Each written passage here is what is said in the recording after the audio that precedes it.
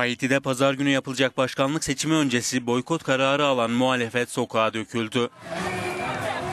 Ülkede Ekim ayında yapılan ve sadece %29 katılımın olduğu ilk turda olduğu gibi pazar günü de ihlal olacağını öne süren muhalifler poliste çatıştı.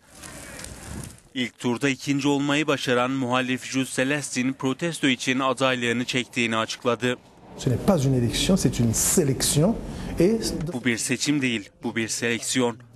Bu seleksiyonda devletin engellemekle görevli olduğu seçim ihlallerine bir onay olmayacak.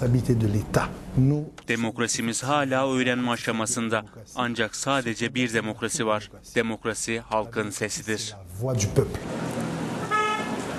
Muhalifler seçim kurulunun iktidar partisinin adayı Jovenel Moïse taraftarı olduğunu öne sürüyor.